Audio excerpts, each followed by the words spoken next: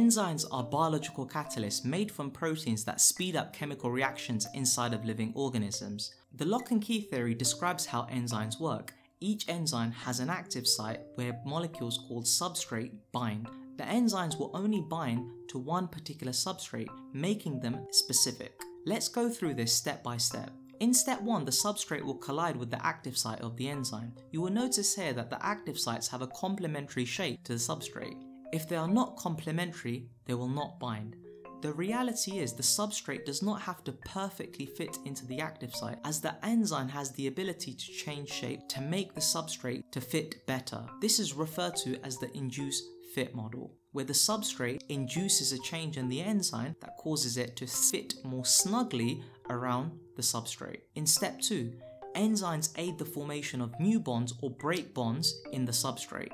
This stage is referred to as the enzyme substrate complex. It shows that the fit between the enzyme and the substrate is like a lock and a key. In step 3, the products are released, the enzyme is unchanged and can catalyze more reactions. It's important to note that enzymes can build larger molecules as well as break them down. Enzymes are pH and temperature sensitive. Let's look at how temperature affects enzyme action. As the temperature increases, so does the rate of reaction this is due to more collisions between the enzyme and the substrate as they gain more kinetic energy and are moving around faster. Once the temperature reaches the optimum temperature, which is when the enzyme works at its best, past the optimum temperature, the enzyme begins to denature. Denaturing is a permanent change to the shape of the active site. This change in shape prevents the substrate from binding to the active site of the enzyme. Denaturation occurs when the bonds holding the protein molecules in its shape are broken.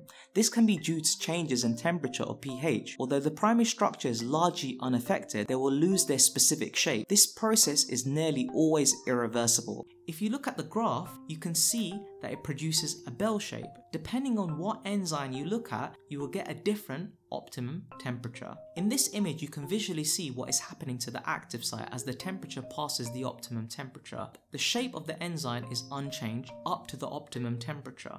Past the optimum temperature, the enzyme's active sites begin to change, preventing the substrate from binding and so the reaction eventually stops. Looking now at how pH affects enzyme action. Just like before, we can see a bell-shaped graph. The shape of the enzyme is unchanged at the optimum pH. If the pH is higher or lower than the optimum pH, the enzyme's active sites begin to change, preventing the substrate from binding and so the reaction eventually stops. Hi, my name is Mr. Science, aka Salim. If you're new to the channel, please remember to like and subscribe. And for more teaching resources, you can visit my website at www.mrscience.co.uk.